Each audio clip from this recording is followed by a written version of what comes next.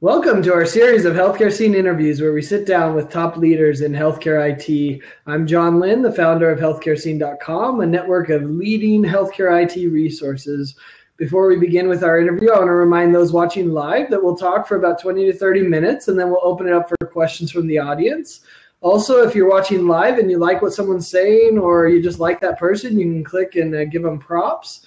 Uh, you can also tweet on the left side and promote the, the blab. That's much appreciated if you do that. And if you do have any questions, you can do slash Q space and then add your question, and that will queue it up for us.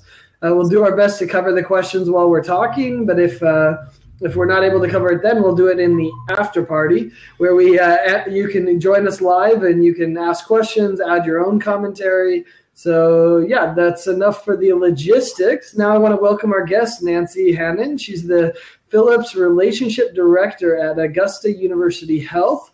I'm pleased to have you here with me today, Nancy. Welcome. Thank you for the invitation. Great. So let's start off by, you know, how about you tell us a little bit about yourself and your organization? Sure. Okay. Um, I've been with what is now AU Health um, for right around 22 years. I have a business background. Anything that I have that's clinical, I've picked up from working here, but my background is solely business.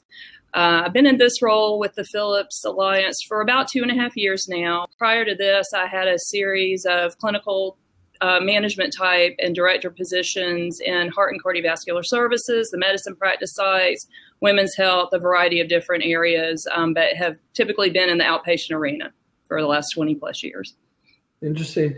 And you're at, you said AU, Augusta University Health, but used to be called Georgia Regents, right? Uh, That's correct, yes. How large is the organization? I mean, what, what, what are we looking at that you're taking part in?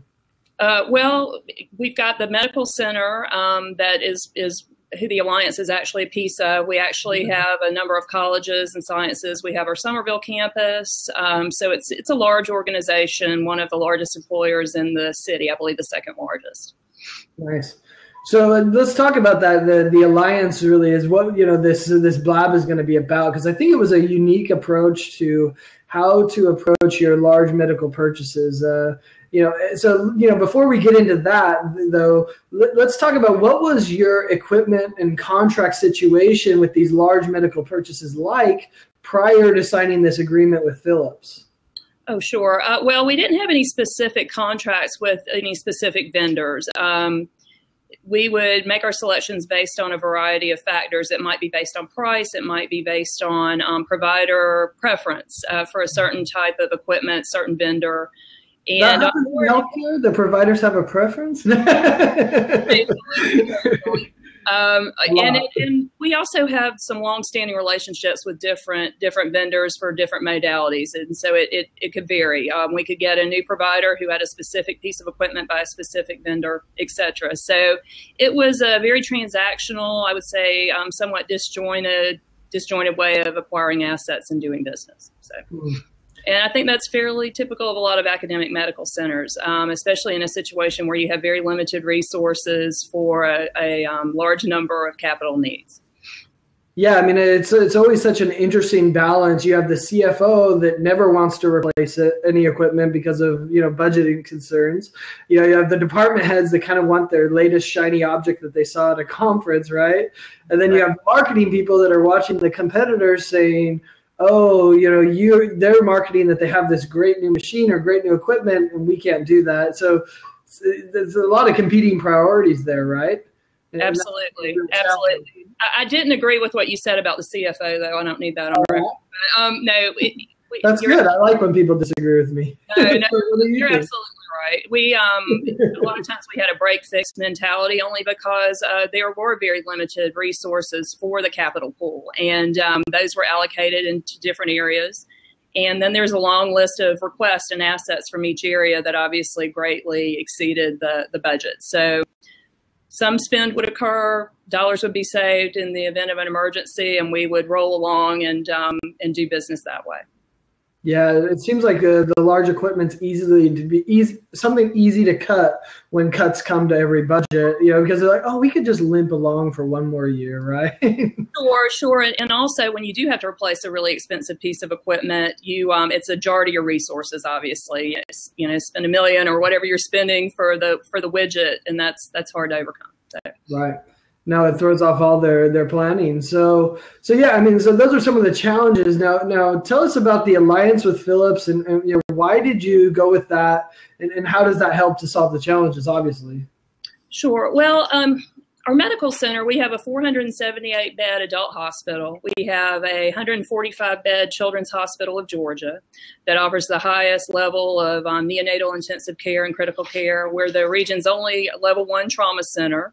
And um, we have 80 outpatient clinics uh, with both primary care and specialized care. And um, I say that because I think it relates to your question about the challenges. um, so a lot of them we have we have finances we have the challenge of what we call kind of transactional relationships um, we need a ct or we need an ultrasound and it's in a very compartmentalized arena and you you go out and you do your research and you try to buy that and you hope that the vendor's giving you the right advice and not trying to sell you a bentley when you really need maybe a camry um, and after you make the purchase, you may hear from the vendor again, or you might not, and they're not there with you when you decide that you either didn't get enough or you got you way overshot what your actual actual um, clinical need was. So I think that was sort of the nature, um, and you know the changes in healthcare. Um, the spend, I would say, in, in healthcare, we keep having to ratchet down for a number of constraints that I won't go into because that's an entire other podcast. But we have to tighten our finances. And meanwhile, Philips and other vendors are creating all this awesome technology and this state of the art stuff that we definitely want. And how do you try to bridge that gap between the two? Interesting. So you, you have those challenges. I, I, think it's interesting the idea that they sell it to you, you make the purchase, and you kind of disappear, which I think a lot of people will relate to that experience. Uh, I hate to sound negative about it, but I think I mean that's just business. That's just the nature of, of um, sales and, and the way typically you do you do those kinds of transactions. So yeah, yeah. So how did that change with the, the the alliance? You know, how did it really come about that you decided to do the alliance with Philips? Well, at, at the time that this idea was um, came into play, our, our, leadership at the time, um, our CEO had tried to do a, an alliance with Philips at a previous hospital, and uh-huh. the timing for that one um, just wasn't right. But he looked at our, I believe, our finances, our aged equipment, our lack of resources, or, or limited resources, and um, viewed this as the right time to to try to launch this again. So um, basically, my understanding, and this predates my heavy involvement in the project, but my understanding is um, through one of our clinical leaders, one of our um, radiologists, uh, touched base with two Philips representatives that were here on campus a lot, um, some of our salespeople who we have a long-standing relationship with, and, and said, hey, this is something that we're thinking about doing. Do you think you all might want to partner with us on this or at least uh, discuss it further? And that's how the wheels started turning. And so, why why did you choose Philips? Was it just because of the breadth of the options that they had available? Was it because they were willing, or you know, any ideas of why why you hmm. selected them?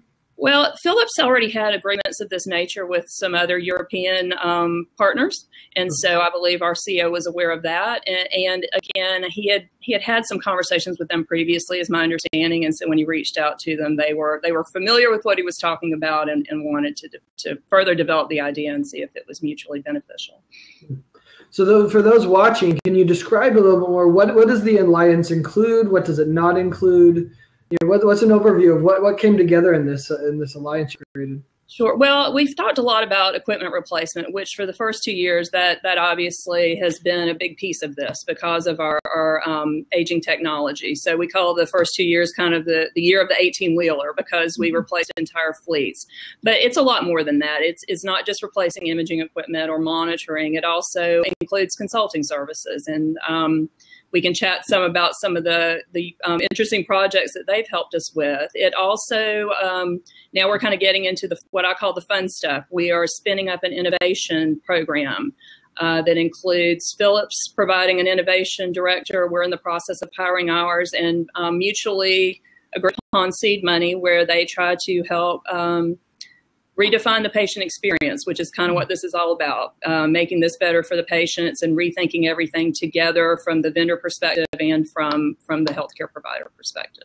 So. It's almost like they're using you as, as part of their research budget, right? And, and you know, Um, there is a research component that is separate from the the piece of the alliance that I work on. This is actually innovation, and as hmm. I told you, I'm a business person, so I'm learning this as I go along. But there there is quite a difference between innovation and research, and the part that we're working on with them is the innovative piece. And um, you know, Philips is a company that that's got roomfuls of people um, working on innovation. An incredible amount of resources, and it's something that the hospital, for the most part, hasn't embarked on. So it's a unique and, and just a fantastic opportunity uh, for us to be able to partner with them on that. So, what's the difference between innovation and research? Is it more the innovation is stuff that's already there and practical and available, or what? How would you uh, define the difference? Well, you know, innovation could be could be lots of different things. It could be looking at some of our innovation could mean that we figure out that that a piece of equipment we have maybe needs some different um, different components or different different pieces that might improve the patient experience. Innovation could be looking at process and trying to figure out is that process broken.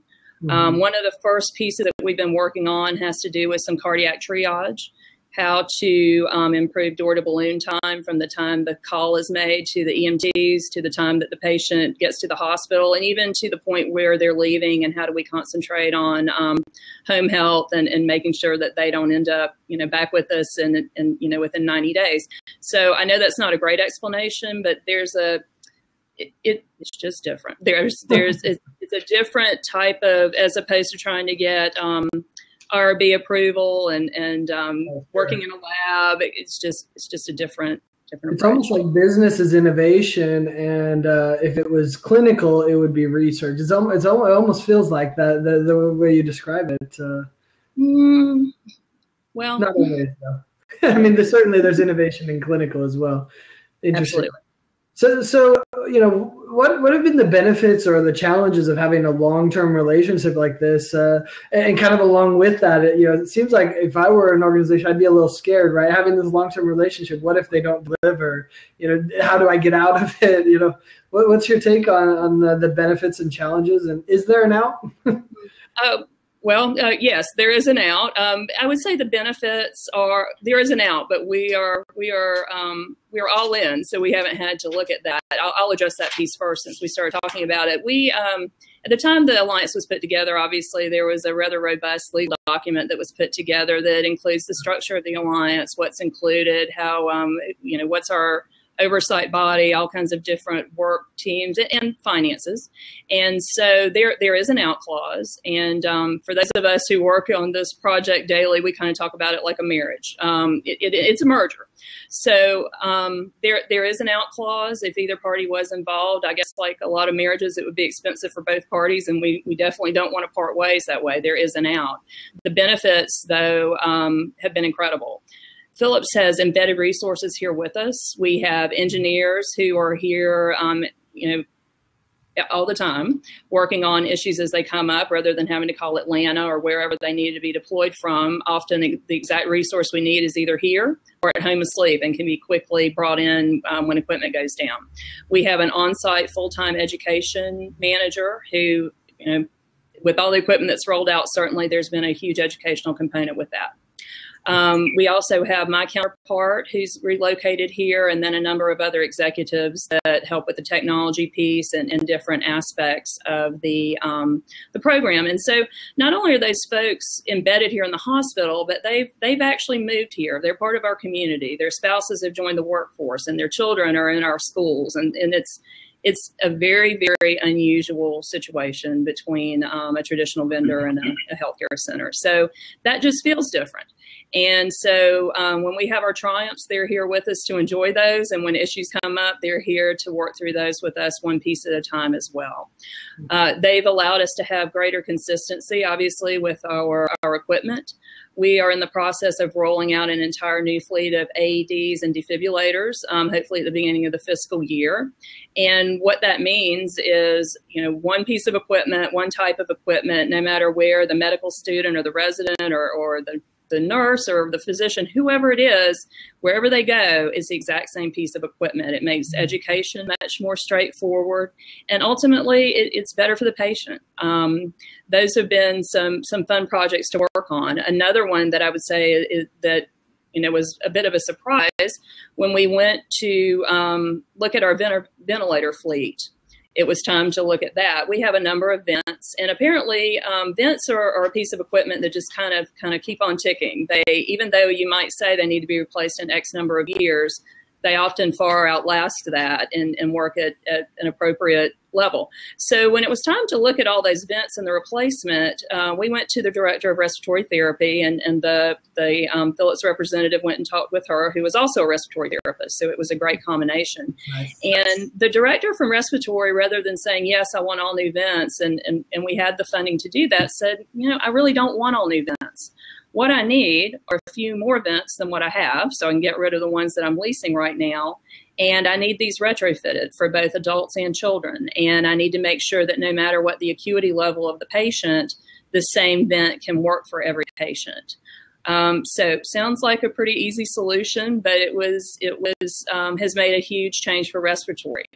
They no longer have to trade out a vent when a patient's acuity level changes, and and you know go get it, go find a vent that was on the patient so it can be redeployed. Um, we've had a very high census in our hospital over the last few months, and not at any point did we run out of ventilators. And so it's it's um, hard to put a price on that. Obviously, not having to lease the ventilators have been great. The, the true benefit is for the patient, but it, for many reasons, it means that respiratory therapist, instead of trying to trade, you know, find a vent and trade it out and chase it down, is actually there with the patient, treating them for a longer period of time. Um, the education on having again one type of vent is much mm-hmm. easier, and the staff loved it. Um, in fact, when our director of respiratory, who's very high energy and and um, just a, a, very innovative thinker herself, when she went to tell her staff what the plan was, they actually cheered. That's how excited they were because they knew it allowed them to do their job better and to take care of their patients better. So, nice.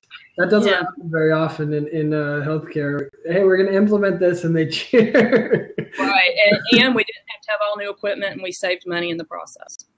Well, I think that's one. You know, if, if I'm playing devil's advocate, uh, you know, about okay, well, with these agreements, that's great, but in some ways, it almost feels like you're you're you're getting in bed with the vendor, and they're just going to tell you you always need to replace stuff, right? Uh, I, I, that would be my fear. You know that you know, hey, well, you're just oh, you know, of course you want to give me the most cutting edge, and of course the safest thing for healthcare is to have the latest and greatest machine and to replace it on a regular cycle. We'd all love that, but is that the smartest thing? And do we really need to do that to improve? Right. How do you balance that in the relationship so that they're not always just selling you more stuff, right? Sure. Well, um, in, in our plan, our roadmap is what we call our technology um, mapping plan. We refer to it as the TMP. We kind of live and die by that. And so before the alliance was actually sign, signed, um, a group came in and inventoried all of our equipment, imaging and monitoring. Uh, they saw what year it had been um, put into service, how old it was, what's the normal life cycle, and uh, when does it need to be replaced. And one of the reasons why the alliance is 15 years is because generally medical equipment, most modalities have a seven to eight year lifespan, depending on what it is. So it allowed for two complete replacements of our medical equipment. Uh, so the TMP, um, we look at that if we, by fiscal year, we know what has to be done for 15, and we look at specific pieces of equipment and we say, do we really need to replace this now? And, and something um, Philips helps us make better choices. Uh, again, in a typical transactional um, type of environment, you would go to a vendor, and, and I don't know that any of us have ever gone to a vendor that said, you know what, I really don't think you need that new widget. Why don't you wait? because um, the one that you have seems to be working well, and the new one doesn't give you a whole lot more benefit. But that's people get paid for that, right? They get paid to sell more. Exactly. exactly. But but the way things are now, that that has and does happen. Um, sometimes they'll say, "What again? What you have is functioning correctly, and even if we sold you our newest one." It's not going to make that big of a difference. Why don't we wait? Um, it could be two years, it could be three years, but maybe something's coming out that would be more beneficial, or or mm. the whole concept of how that care is delivered could change and the need could change. That's interesting. That, that's a really interesting point. Like, oh, I, I know the roadmap, you don't, and so you may just want to wait, right? That's, well, that's a good insight. true, true. Or, or even if they don't, you know, sometimes they do know the roadmap, perhaps, and then sometimes they don't.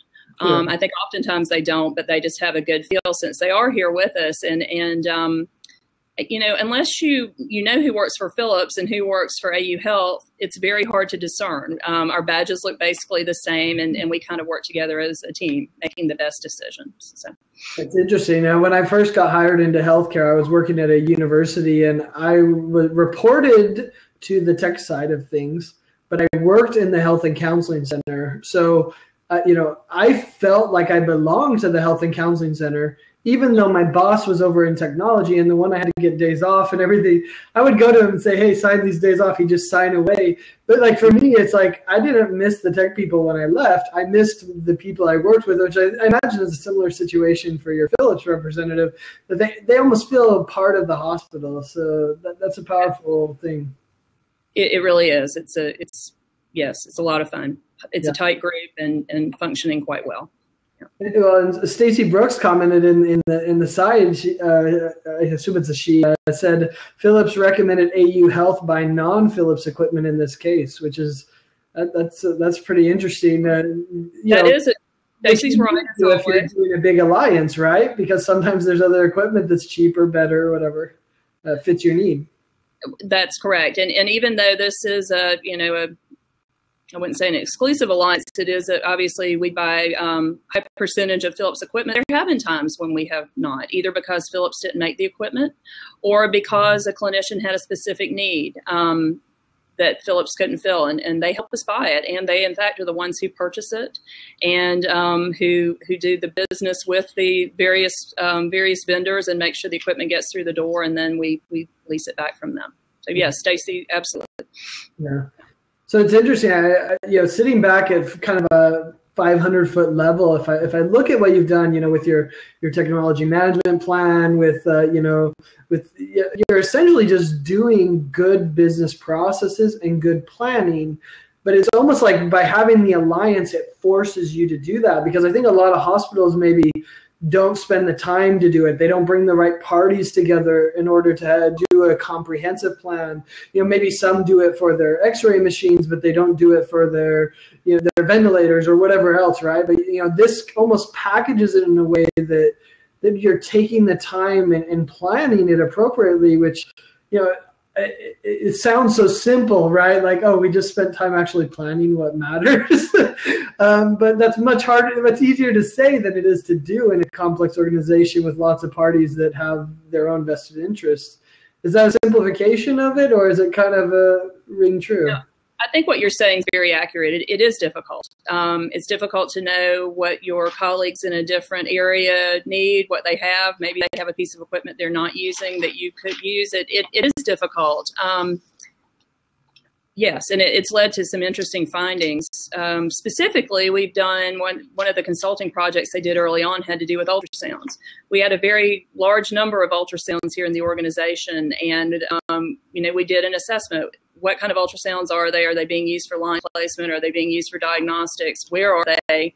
How much are they used? And do we really need them? Because it's it's we could get an ultrasound request um, several a month for for a new piece of equipment, and so it was it was an interesting exercise. Something that I don't know. Um, I wouldn't say that folks wouldn't have thought to do that exercise, but who would do it? Who had the resources to do it and to track them all down and to do the research? Mm-hmm. And so Philips helped us with that. I'm sorry.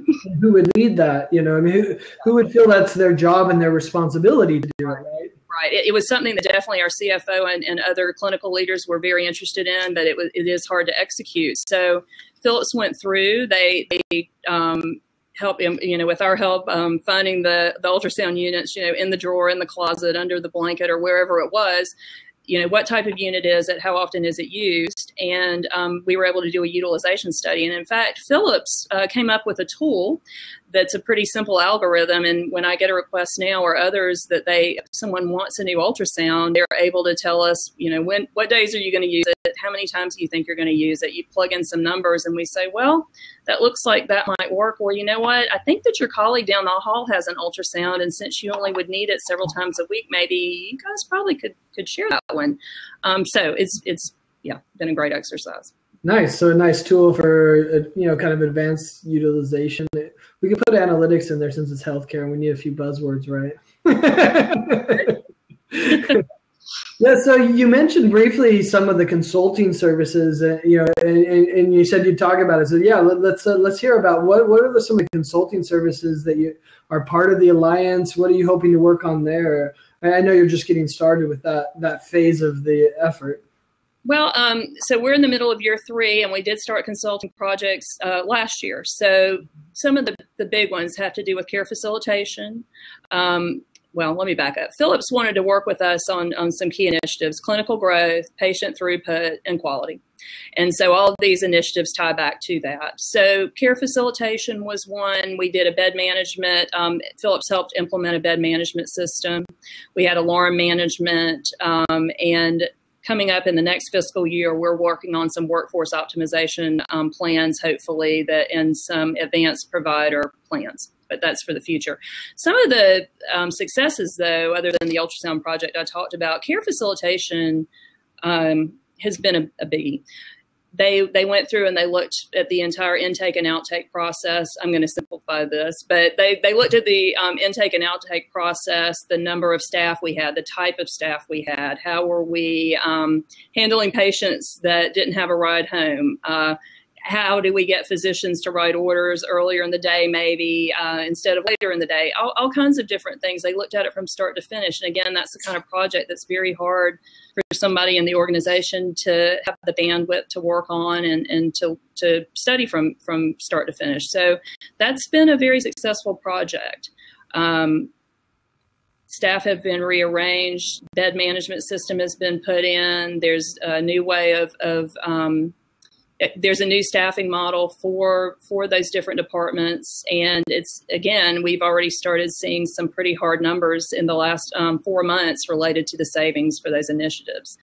Um, don't want to scores as well you know, I mean, I, maybe maybe that's not your area, but it seems like that would impact impact HCAHPS scores as well as far as patient satisfaction scores for your organization. Well, certainly that probably wasn't what you went into it like. Oh, let's impact our HCAHPS, right? well, and certainly we're always looking at those patient sat scores and the HCAHPS, and and I don't know that we've made the needle move in that arena at this point, but that's certainly because um, we just now we probably have a quarter's worth of data, and HCAHPS generally runs pretty pretty far behind with the reporting. You have to wait a fair amount of time. But yeah, certainly that is something that we would expect um, to, to, see as a, another improvement. And again, I, am I am focusing on the finances of this, but this is about better patient care. It's about um, taking taking better care of the patient, trying to make sure they are taken care of at home appropriately through home health. They don't get readmitted, and improving that whole experience. Hmm. Well, and I imagine if you're, you're speeding the throughput and getting the X-ray done earlier, or or the order done earlier, then you know then you find stuff earlier, and you, you see all of those benefits to the patient as well. Absolutely, and, and, have another bed available for the next patient that comes through that that needs us needs again. So, yeah. Having spent a night on the freezing uh, ED table, I, am all about bed management and having one available. That'll do it. That'll do it. Yeah.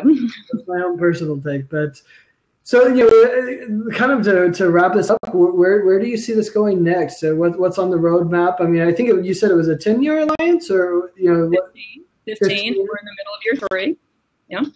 So uh, well, roadmap. You know, what are you looking for? Sure, I did speak some about innovation, um, and so we've we've kind of exhausted that one. Hopefully, uh, if I have a chance to, to talk with you again I'll have a better report on that because that is just spinning up. The the ones that are still on the pipe, there's more to do with the consulting projects.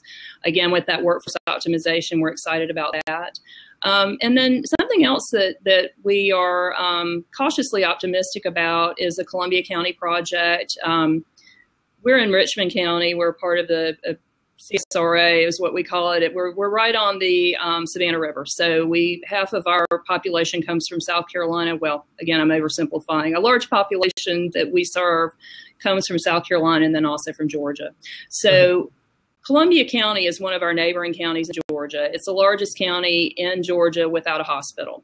And we are in the middle of a process, well, hopefully, hopefully towards the end of a process to see if we can be awarded a certificate of need to build a hospital in Columbia County.